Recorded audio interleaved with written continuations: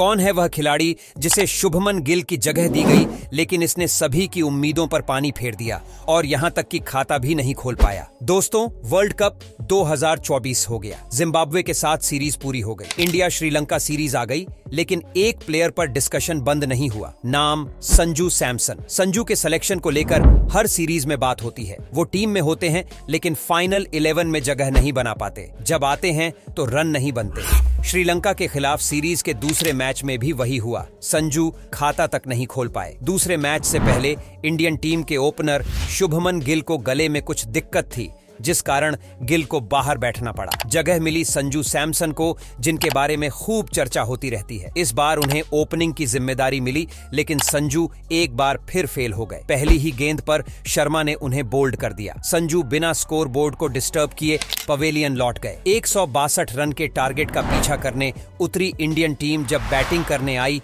तो पहले ओवर की तीन गेंदों के बाद बारिश का। लंबे स्टॉप के बाद डीएलएफ के हिसाब से इंडियन टीम को आठ ओवर में अठहत्तर रन का टारगेट मिला। बारिश से पहले तीन गेंदें यशस्वी जायसवाल ने खेली थी, रन बनाए थे। बारिश के बाद अगली ही गेंद पर जायसवाल ने चौका जड़ दिया। ओवर में रन बने बारह। दूसरे ओवर की पहली गेंद पर संजू सैमसन स्ट्राइक पर थे।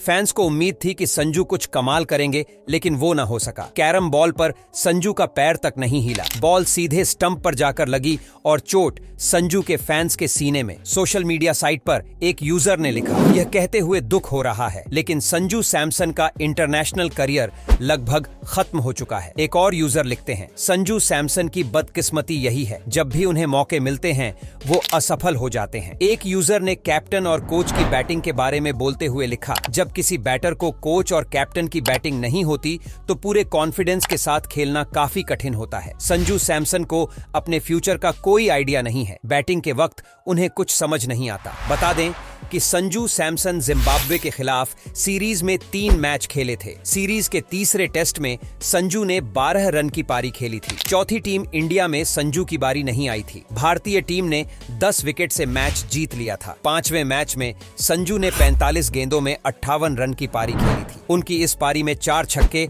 और एक चौका शामिल था। इस दौरान उनका स्ट्राइक रेट 128 से भी ज़्यादा का था। दूसरा मैच भी भारत ने जीत लिया है और इसके अलावा मैच के ज़िक्र करें तो बारिश से प्रभावित मैच को टीम इंडिया ने तीन ओवर्स में अपने नाम किया। इसके साथ ही टीम इंडिया ने सीरीज़ भी अपने नाम कर ली। तीन मैच की सीरीज़ का एक मैच अभी खेला जाना है। इंडियन ओपनर यशस्वी जायसवाल ने दूसरे में पंद्रह गेंदों में तीस रन बनाए। कप्तान सूर्य कुमार यादव ने बारह गेंद में छब्बीस रन बनाए। हार्दिक पांड्या ने नौ गेंदों में बाईस रन बनाकर मैच को खत्म कर दिया। ऋषभ पंत दो रन पर नॉट आउट रहे। इस वीडियो में बस इतना ही।